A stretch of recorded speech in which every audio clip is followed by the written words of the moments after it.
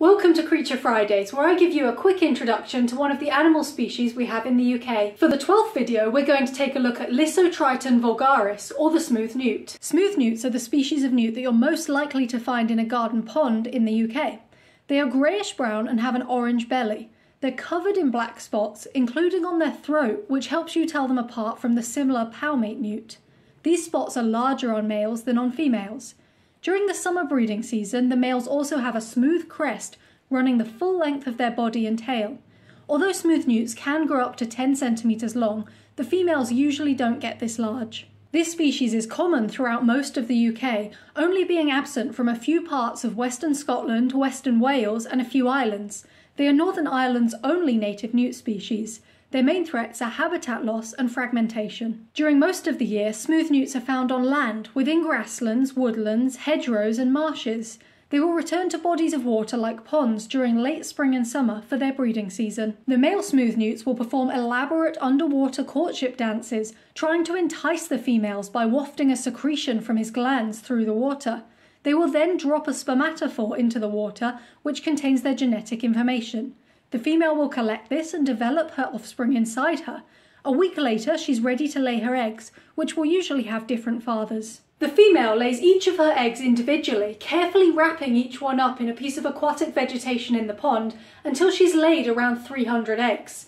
These greyish coloured eggs are each surrounded by a 3mm wide capsule of translucent jelly, let me know in the comments if you've ever seen smooth newt eggs. Depending on the weather, in the next two to four weeks, these eggs hatch into newt larvae. These beigey brown larvae will grow up to 4 centimetres, which is when they undergo metamorphosis. Unlike frogs and toads, they develop their front legs before their back legs and have feathery gills behind their heads for breathing, which they lose as they transform. Around 10 weeks after hatching, as soon as they've lost their gills, these juvenile newts will leave the water.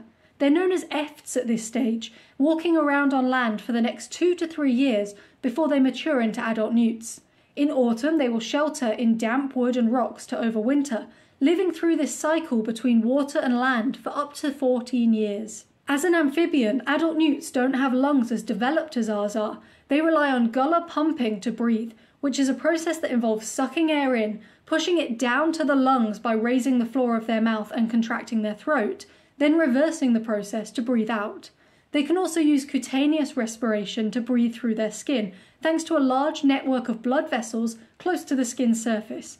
This lets them breathe underwater, but because the adults lose their juvenile stage gills, they can only stay underwater for a limited period of time. While it's in the water, the smooth newt will eat crustaceans, mollusks, and tadpoles, whereas on land it will eat a range of invertebrates like caterpillars, worms, and slugs. However, they have a variety of predators. As larvae, they are eaten by water beetles, dragonfly nymphs, fish, and adult newts. As adults, they are eaten by fish, grass snakes, ducks, and kingfishers. If you enjoyed learning about this animal, then make sure to check out some of my other videos. Subscribe to FeraForus to keep learning about UK nature.